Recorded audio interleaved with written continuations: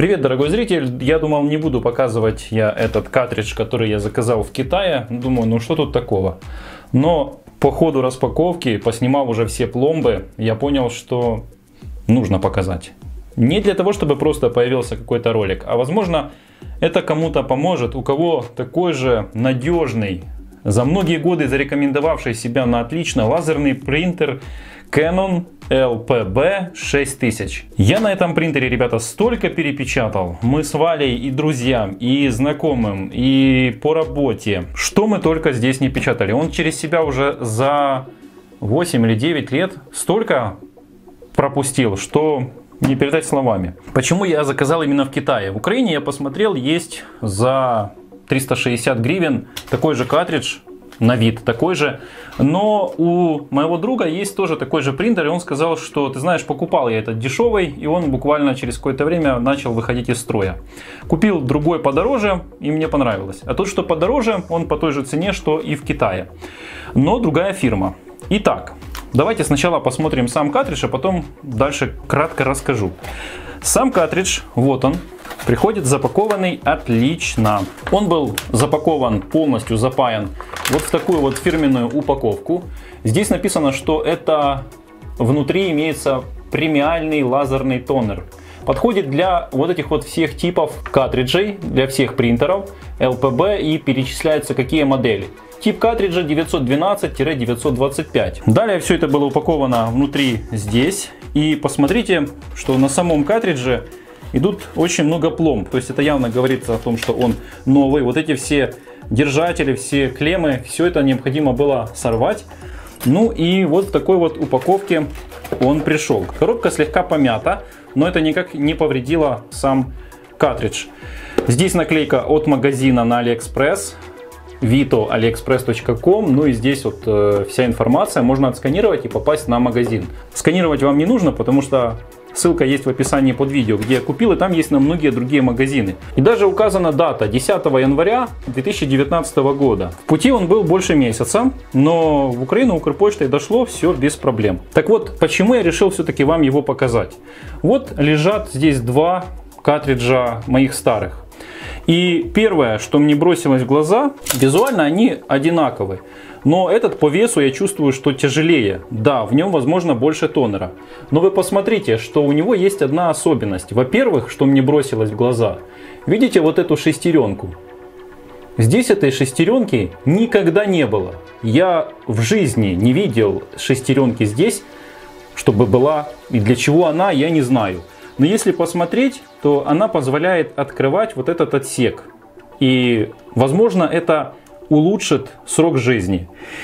Самое, что ни на есть, мое большое было удивление, это то, что у данного нового картриджа здесь крышка, чтобы заправлять этот картридж. Да, ребята, много лет назад, когда я только купил этот принтер, тонер этот закончился, и пришла пора либо нести в сервисный центр, либо самостоятельно заправлять. И посмотрев видеоролики в ютубе, начали один за другим мне поступать эти видеоролики в поиске, но я увидел, что все рекомендуют где-то здесь сверлить дырку, а потом чем-то мудрить закрывать. Зачем это было делать, если можно было аккуратно разобрать его, несколько шурупов вскрыть в общем, я снял отдельный видеоролик, если очень интересно, как я это делал много лет назад, снимая еще смартфоном, то вот здесь в подсказках есть ссылка.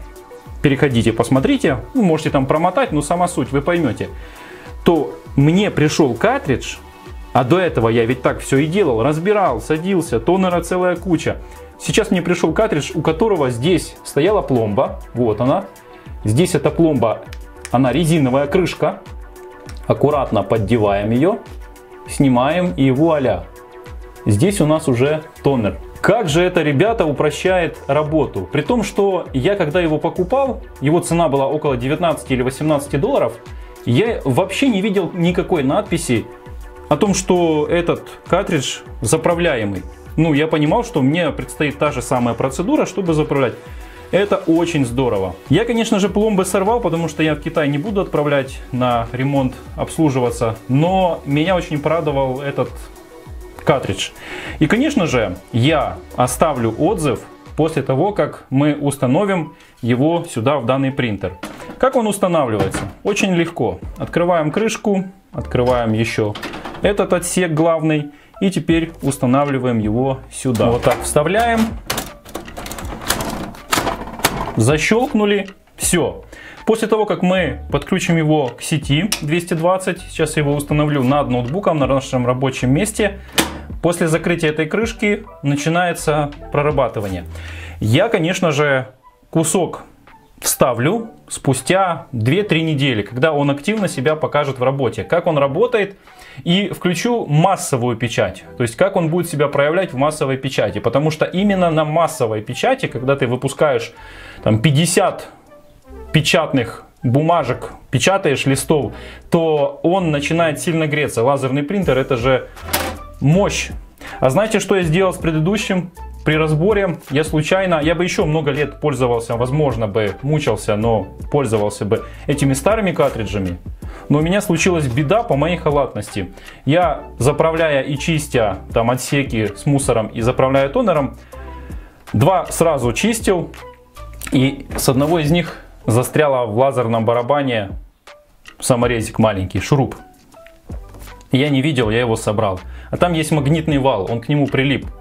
Собрал, сложил и всунув лист бумаги, я услышал страшнейший скрежет, который резал барабан металлическим этим саморезом. Я быстро выключил, взял, ну и что интересно, он работал, вырезал, вот эта вот полоса, нарезка, это и есть от самореза. Да и барабан уже старый, видите, нарезки, здесь вот это э, выдавлено, поэтому в месте, где должна была быть печать, он просто черную полосу выжигал вот такую вот на листе бумаги.